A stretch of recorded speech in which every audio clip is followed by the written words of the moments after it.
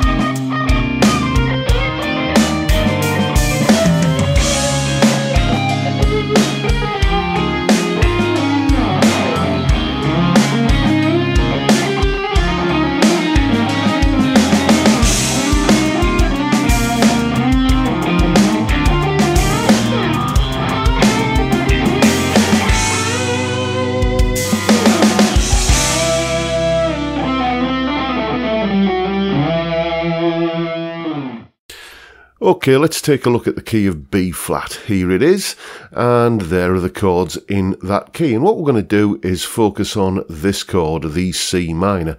And the way we're going to do that is by uh, playing a little bass line centered around that chord, which will sound like this.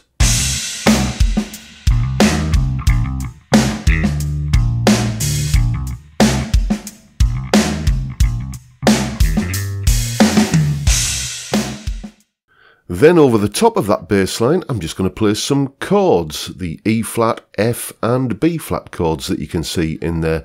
And that's going to sound like this.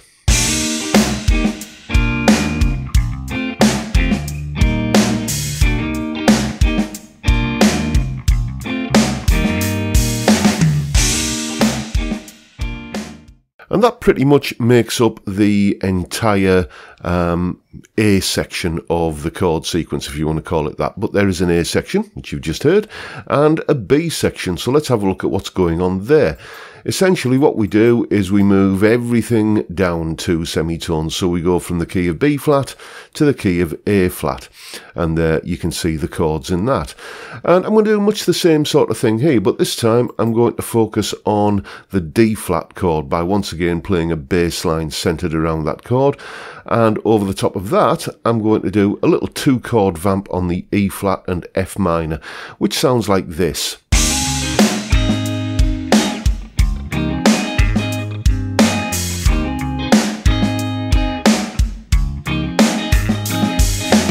And that's what's going on in the B section of the chord sequence. And if we just take an overview of what's going on here, when I um, take the key of B flat and focus on the C minor chord that's in that key, we're in the C Dorian mode. And when I focus on the D flat chord that occurs in the key of A flat, then I'm in the D flat Lydian mode. And all I've got to do to play lead guitar over all of this is when I'm in the C Dorian section, as you can see, C Dorian is the key of B flat major. So I'm just going to use a B flat major major scale. And then when it flips over to the D flat Lydian, well, if you remember, we just moved everything down two frets. So the same licks, the same patterns, the same shapes, the same everything, just moved down two frets. And because of the uh, filter that you're hearing through of the chord sequence, you will kind of hear that as a D flat Lydian mode kind of thing. So that's what I'm doing in the solo. And if you grab the tab, you can see it all in exquisite detail. And as always, the full tab for that solo, along with that little clip you've just seen there, where I'm demonstrating it and explaining it, uh, along with um, you know a jam track to play along with. That's all going to be up on my Patreon page in the next couple of days, as soon as I've had chance to kind of uh, beaver away in Guitar Pro and get it all tabbed out for you. Just a special little thank you to all of my Patreon supporters. Thank you everyone who's supported me over there. It's meaning that I can you know spend more time time doing what I love, which is making these videos and kind of sharing things with you. So thank you so much. It is truly appreciate, appreciated. I'm really, really grateful to each and every one of you. Uh, now you'll have noticed in that solo that I did go a little bit twiddly widdly in a couple of places and uh, how I do that is another entire video in itself and thankfully I've already made that video so if you're looking for some guidance on how to throw a little bit of speedy stuff into your solos then the link is down there in the description. I also kind of uh, went a little bit outside in one particular place there deliberately kicking over the apple cart as it were in a musical sort of manner, and um, it's called outside playing. And I tend to do it a little bit in, in such circumstances. And there's a little bit of a guide on how you can do that, just introducing some dangerous licks, as I called the video uh, on that topic. And that video is also linked in the description down below if you're looking for some ways of adding a little bit of madness to your solos.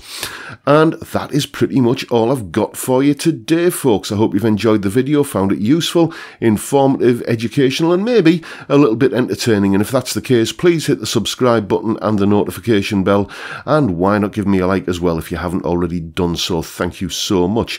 I'll just mention uh, it's Saturday today, but you all know about the uh, Friday live stream. Uh, 5 pm every Friday, 5 pm UK time. Uh, we all sit around on a live stream and have a beer and a chat, and um, just a great way of uh, kicking off the weekend. Love to see many of you there. And if you're thinking, of um, a Fret Zealot tuition aid, then use the discount code you can see on screen right there, and you'll get a little bit of money knocked off thanks to me. You're welcome. Uh, purchase link, once again, is down in the description. And with that, I'll bid you all a good day and say thank you for watching. Thank you so much for your time, and I do look forward to seeing you all again next time around. Stay safe, folks, stay well, and above all, stay sane. Bye for now.